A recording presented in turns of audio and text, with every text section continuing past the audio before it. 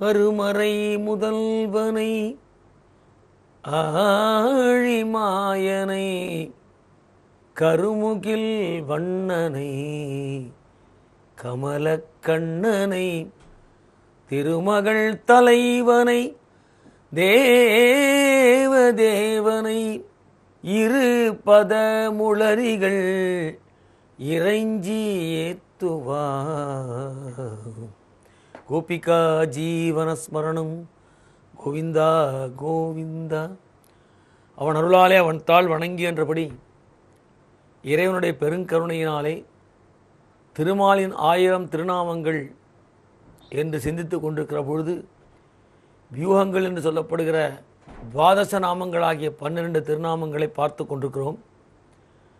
அதிலே திருவிக்ரம் என்கிற நாமத்தை சிந்திக்கிற பொழுது திருக்கோயிலூரிலே மூன்று வேதங்களையும் கடந்து வேதங்களினாலே அறியப்பட முடியாத நிலையிலே இருக்கிற ஒருவரை காண வேண்டும் என்று வந்து முதலாழ்வார்களுடைய சரித்திரத்தை இங்கே பார்த்தோம்.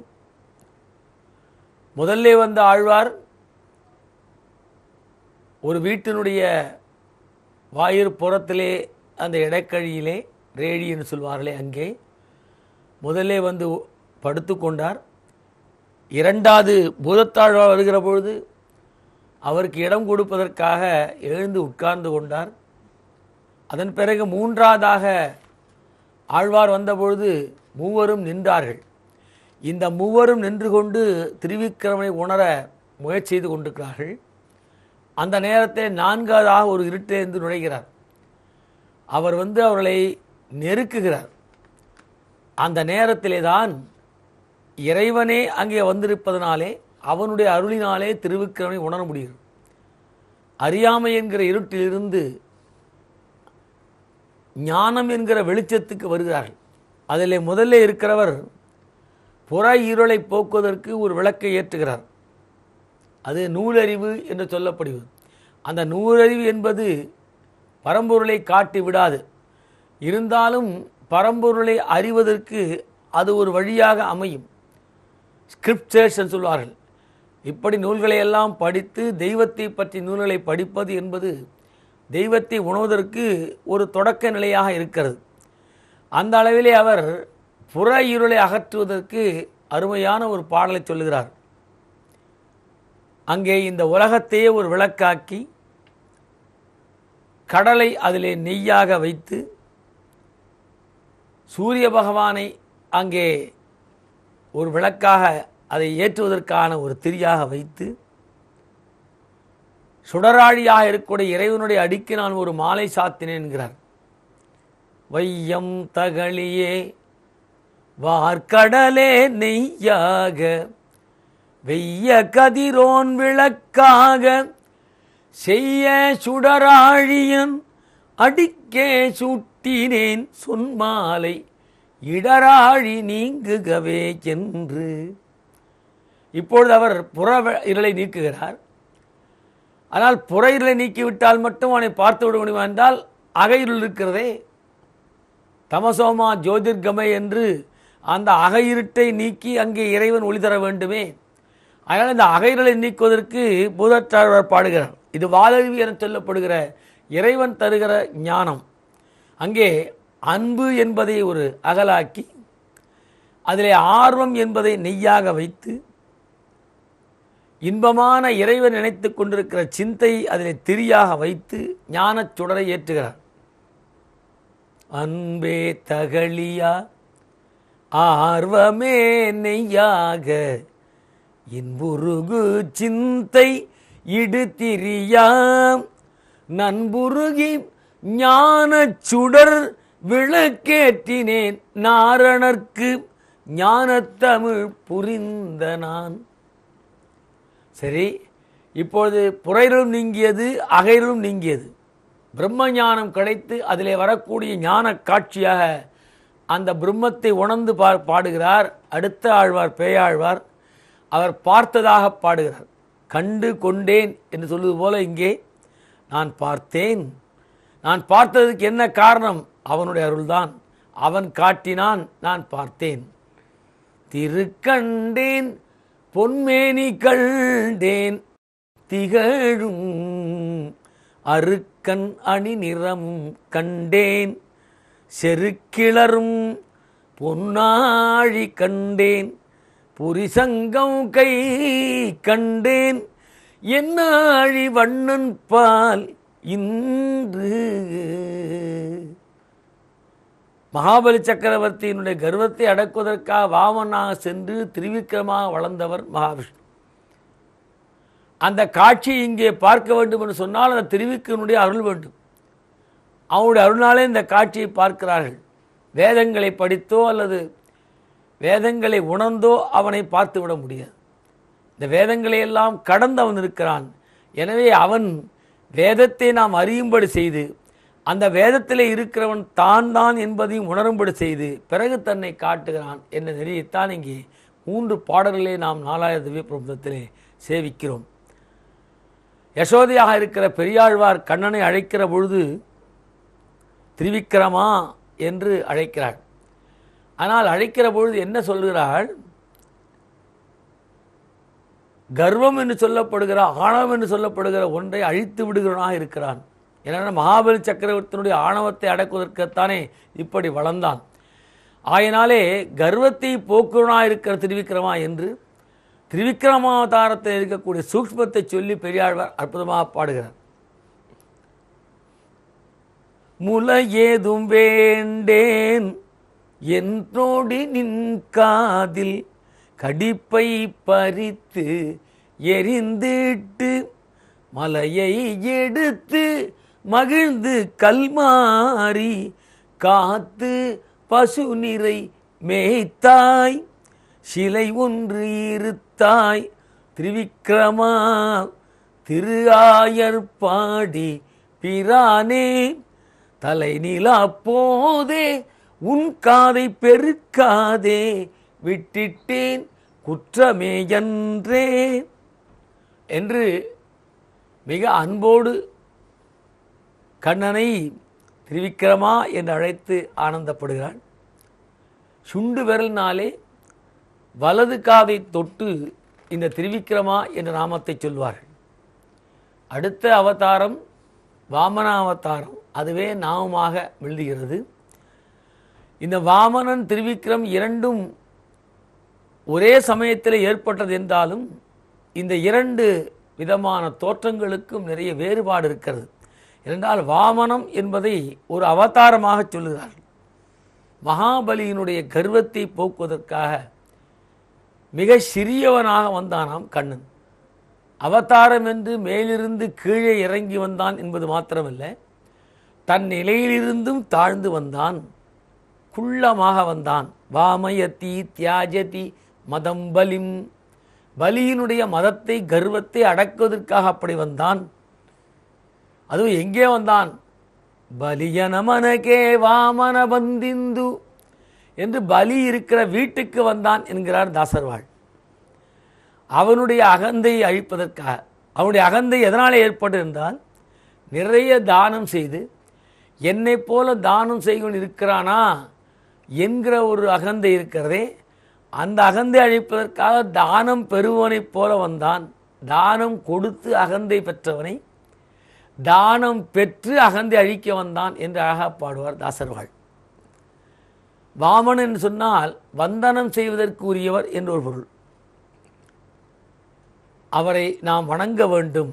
மத்தியே வாமனமாசீனம் விஸ்வே தேவா உபாசத்தே என்று கட்டோபனிஷத் பேசுகிறது. அதனால் இது ஒரு அற்புதமான வடிவமாக இருக்கிறான் வந்தனம் செய்திருக்கிறவழியே சலய செல்லய சிவிக்கிரமணே கோபாலகிருஷ்ணா பலிமாத்புத வாமன பதனக நீர ஜனித ஜன பாவன கேசவாதிருத்த வமன ரூப ஜெய ஜெகதீஷஹரே என்று ஜெயதேவர் பாடுவார். ஒரு அற்புதமான வடிவம். வாமனன் சொன்னால் அது ஒரு அழகு வடிவம் என்று கூட சொல்வார்கள். அந்த வாமன மூர்த்தியாக வருகிறான். பவதி பிக்ஷாந்தேயி என்று அந்த பிக்ஷா பாத்திரத்தை ஏந்தி வருகிற பொழுது பேரழகுடன் வருகிறாராம். பாமா எல்லாம் ஜெகதொழக சோமனிவனந்து ஒகலி. தூகி தரு பாடுத்த வாமனாவதார ஹரிய. என்று அந்த வாமன அவதாரம் எடுத்து வருகிற பொழுதேயே பேரழகன் விளங்கினான் என்று சொல்லுகிறார். வாமனன் என்று சொன்னால் வாரி வழங்கும் வள்ளல் என்று ஒரு பொருள். சம்பஜனீயா எதை வழங்குகிறான் சொன்னால் தன்னுடைய அருளை வழங்குகிறான். யாருக்கு வழங்குகிறான் சொன்னால் சேபிப்போருக்கு தம்முடைய ஒளியினாலே அற்புதமான வரத்தை வழங்குகிறவர். எங்கே? வாமனாக வந்தபோது வழங்க வந்தாரா என்று பார்த்தோமானால் மகாபலி சக்கரவர்த்தியிடத்திலே வாங்க வந்திருக்கிறார். இவர் எப்படி வழங்க வந்தவராக இருக்க முடியும்? மகாபலி சக்கரவர்த்தி பெரிய யாகத்தை நடத்தி கொண்டிருக்கிற பொழுது இந்த யாகத்திற்கு வருகிறார் வாமனமூர்த்தி. அங்கே வந்து நிற்கிறார். இந்த குழந்தையினுடைய அழகை பார்த்த உடனே அப்படியே ஆனந்தமாக அதிசயித்து நின்று உனக்கு என்ன வேண்டுமானாலும் கேள் எதை வேண்டுமானாலும் தருகிறேன். அப்பொழுது எதற்குமே ஆசைப்படக்கூடாதப்பா. ஆசை என்பது மிகவும் கொடியது. அதனாலே திருப்தி அடைய வேண்டும். எனக்கு என்னுடைய அடிகளினாலே மூன்றடி நிலம் கொடு போதும் என்று கேட்கிறார். அவன் பார்க்கிறான் இத்தனை சிறிய வடிவம் இந்த மூன்று அடியிலே என்ன கிடைத்து விடப் போகிறது? இதை போய் கேட்கிறான் இந்த குழந்தை என்று அவன் நினைக்கிறான். இதுதான் மாயை. அருகிலே இருக்க சுக்கராச்சாரியார் குரு சொல்லுகிறார் அப்பா வந்திருக்கிறவன் மாயன். உன்னை ஏமாற்ற வந்திருக்கிறான். கள்ளனை நம்பினாலும் நம்பலாம் குள்ளனை நம்பாதே என்று அவர் எச்சரிக்கிறார். அப்பொழுது இவன் சொல்லுகிறான் நான் நிச்சயமாக கொடுப்பேன். ஒருவேளை வந்திருக்கிறவன் சுவாமியாக இருந்தாலும் கூட அந்த சுவாமியே என்னிடத்திலே வந்து கேட்கிறானே இதை விட எனக்கு என்ன பெருமை வேண்டும்? என்று அகந்தியோடு பேசுகிறான். இரண்டாவது நான் இறைவனுக்கு கொடுப்பதனாலே வரக்கூடிய புண்ணியம் எனக்கு இருக்கிறதே அது என்னை காப்பாற்றும் என்று பேசுகிறான். மூன்றாவதாக ஒரு முடிவை எடுத்து விட்டனால் அதை மாற்ற மாட்டேன் ஆயினாலே நான் கொடுக்கப் போகிறேன் என்றெல்லாம் பேசி அதை கொடுக்கப் போகிற பொழுது அப்பொழுதும் சுக்கராச்சாரிய ஒரு முயற்சி செய்கிறார். நீரை தாரை வார்த்து தருகிற பொழுது அங்கே அந்த நீர் பாத்திரத்துக்குள்ளே ஒரு வண்டாகி நின்று அடைத்து கொள்ளுகிறான். அப்பொழுது ஒரு குச்சியாலே குத்தி வாமனர் அந்த வண்டை வெளியேற்றுகிற பொழுது ஒரு கண் போய் விடுகிறது சுக்கிரன் கண் இழந்தான் என்று பேசுகிறார் இவ்வளவு செய்தும் அவன் கொடுத்து விடுகிறான். கொடுத்து விட்ட பிறகு என்ன நடக்கிறது? திடீரென்று வாமனாக இருந்தவன் திரிவிக்கிரமனாக வளர்ந்து விடுகிறான். ஓரடி மண்ணில் வைத்தான் அடுத்த அடி வெண்ணில் வைத்து விடுகிறான். ஓரடி மண்ணில் ஈரடி வெண்ணில் வைத்தான் வாமனன். திடீரென்று காலை மேலே தூக்கி வைத்துகிறான் வளர்ந்து விடுகிறான். இந்த விஸ்வரூபத்தை பார்த்து அப்படியே ஆச்சரியப்பட்டு நிற்கிறான் மகாபலி சக்கரவர்த்தி. பிரகலாதனுடைய வம்சத்திலே வந்தவன். அதனுடைய புண்ணியம்தான் இங்கே இந்த விஸ்வரூப காட்சி இவனுக்கு கிடைக்கிறது. பிறகு இறைவன் கேட்கிறான் ஒரு அடி வைத்தேன் பிறகு இரண்டாவது வைத்து விட்டேன்.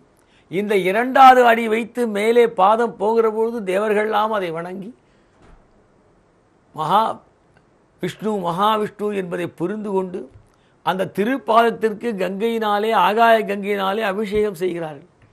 பதனக நீர ஜனித ஜன பாவனை என்று அந்த காட்சியை ஜெயதேவர் சொல்லுகிறார். இப்படி எல்லோராலும் ஆராதிக்கப்பட்ட திருவிக்கிரமன் இப்பொழுது கேட்கிறான் மூன்றாவது அடிக்கு இடம் எங்கே? என்று. அப்பொழுது மகாபலி சக்கரவர்த்தி தன்னுடைய தலையை தாழ்த்தி இதோ என்னுடைய முடியிலே உங்கள் திருவடியை வையுங்கள் என்று கேட்கிறான். பிறகு அவனை அப்படியே பாதாள லோகத்துக்கு அனுப்பி அங்கே அவனை ராஜாவாக்கி அவனுடைய ராஜ்யத்திலேயே எல்லோரும் சந்தோஷமாக இருந்தார்கள் என்பதை உணர்ந்து பாதாளத்திலேயும் அவனை மன்னனாக்கி வைத்து அவன் வீட் அவனுடைய அரண்மனை வாயிலே காவலனாக மகாவிஷ்ணு இருந்தார். என்று பார்க்கிறோம். இதனால் எந்த அளவுக்கு அனுகிரம் பாருங்கள். இப்பொழுது பார்க்கலாம் வாங்க வந்தாரா வழங்க வந்தாரா? அதனால் மாவல சக்கரவர்த்தத்திலே ஆணவத்தை வாங்கி அவனுக்கு நல்ல நிலையை வழங்க வந்திருக்கிறார் என்று தான் பார்க்க வேண்டும். அதனால் தான் இன்றைக்கும் நாம் கேரள தேசத்திலே ஓணம் பண்டிகை என்று கொண்டாடப்படுகிற அந்த திருவோண பண்டிகை மகாபலியுடைய பெருமைக்காக கொண்டாடப்படுகிறது. மாவேலி நாடு வானிடும் காலம் மனுஷரெல்லாம் ஒன்று போலே. ஆமோதத்தோடே வசிக்கும் காலம் ஆபத்தங்கார்க்கும் ஒட்டில்லாதானும். ஓணத்திருநாள் இன்பத்திருநாள் மங்களம் பொங்கிடும். ஸ்நேகத்திருநாள் கள்ளமும் இல்லா பகையும் இல்லா எள்ளோலமில்லா பொழி வச்சனம். கள்ளப்பறையும் செருநாழியும் கள்ளத்தரங்கள் மற்றொன்றுமில்லா என்று அந்த மகாபலியுடைய பெருமையை பாடுவார்கள். எனவே மகாபலிக்கு பெருமையை வழங்கத்தான் கண்ணன் வந்திருக்கிறான் என்ற ஒரு பொருள் இங்கே பார்க்கிறோம். அதனாலே எல்லோருக்கும் தன்னுடைய ஒளியினாலே அருளை வழங்குபவனாக மகாவிஷ்ணு இருக்கிறான். அதனாலே வாரும் வாரி வழங்குகின்ற வள்ளல் சம்பஜனீய சேவிப்பவர்க்கெல்லாம் தம்முடைய ஒளியினாலே எல்லையில்லாத அருளை வழங்குகிற பொருளே இங்கே வாமனன் என்று சொல்வார்கள் வாமன் என்றால் புண்ணியத்திற்கு ஏற்றவாறு விரும்பிய புண்ணிய பலனை தருகிறவர். இரண்டு நிலைகள் பாருங்கள். இவர்களுடைய புண்ணியத்திற்கு ஏற்றவாறு இவர்கள் விரும்புகிற புண்ணிய பலனை தருகிறவர். ஏஷ ஏவ வாமனீஹி ஏவ சர்வாணி வாமானி நயதி. என்று சாந்தோபனிஷத் சொல்லுகிறது இந்த புண்ணியம் செய்ததனாலே தான் நாம் இறைவன் நாமத்தை சொல்கிறோம். இறைவனுடைய நாமத்தை நாம் இப்போது சொல்லுகிறோம் என்று சொன்னால் வாமனா என்று அவனை அழைக்கிறோம் என்று சொன்னால் இதற்கு அடிப்படை காரணம் நாம் செய்த புண்ணியம். முன்பு நான் செய்த புண்ணியம் ஏதன் நம்மே என்று அபிராமன் சொல்வார். அக்கிருத்த புண்ணியகா என்று ஆதிசங்கர் சொல்லுவார் புண்ணியம் செய்தால்தான் இறைவன் நாமத்தை சொல்ல வேண்டும் என்கிற எண்ணமே வரும். அதனால் எப்பொழுது இறைவன் நாமத்தை சொல்லுகிறோமோ அப்பொழுது புண்ணியம் செய்ததாக பொருள். இப்பொழுது பகவான் வாமனன் என்ன செய்கிறான்? நாம் செய்த புண்ணியத்தின் பலனாக இந்த நாமத்தை சொல்லுகிற பொழுது இந்த புண்ணியத்திற்குரிய பலனை தருகிறான்.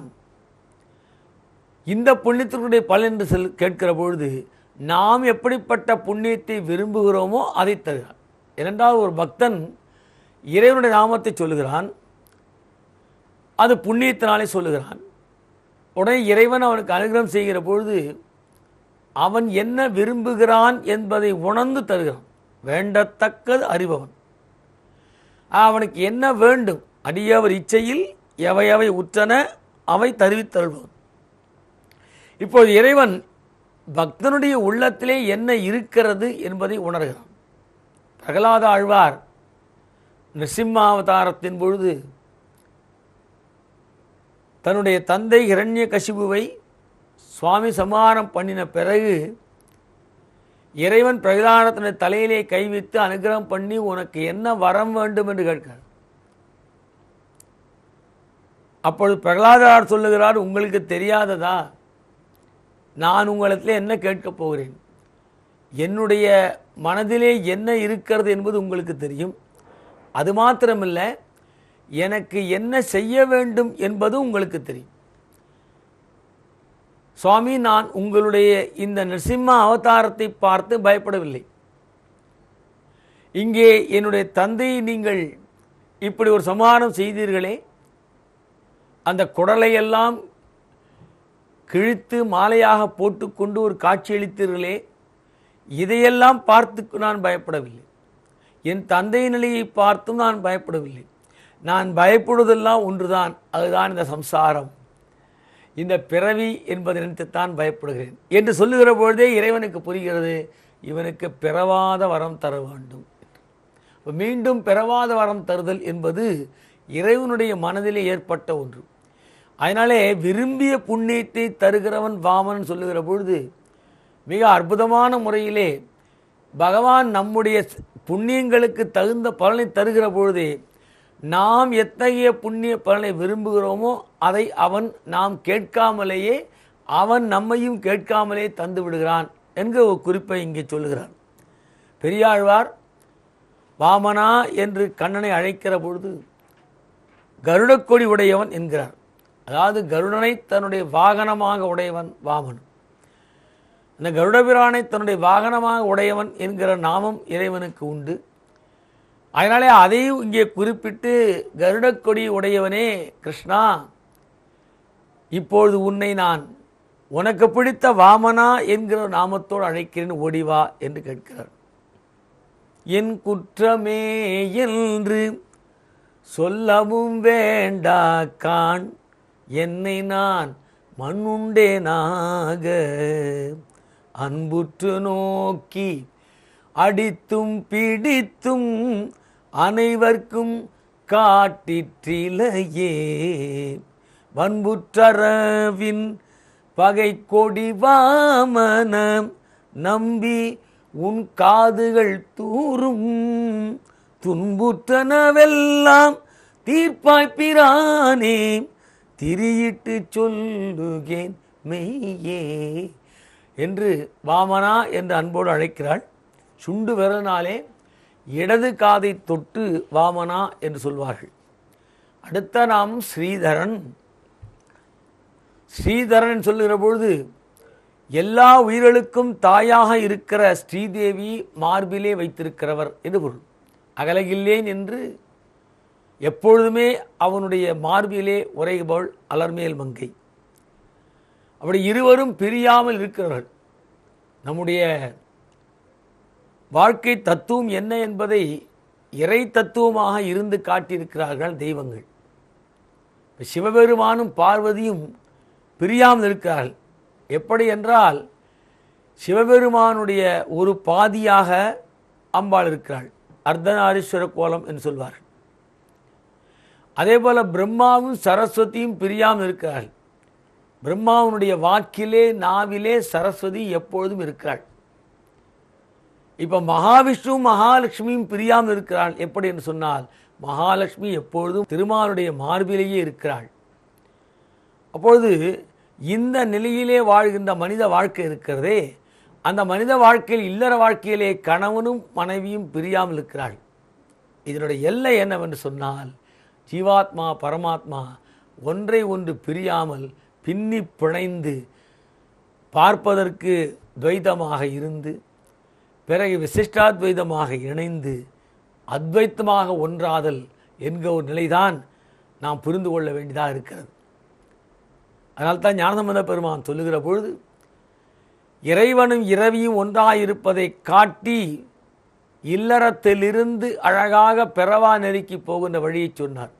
மண்ணில் நல்ல வண்ணம் வாழலாம் வைகலும் எண்ணில் நல்ல கதிக்கு யாதும் ஓர் குறைவில்லை.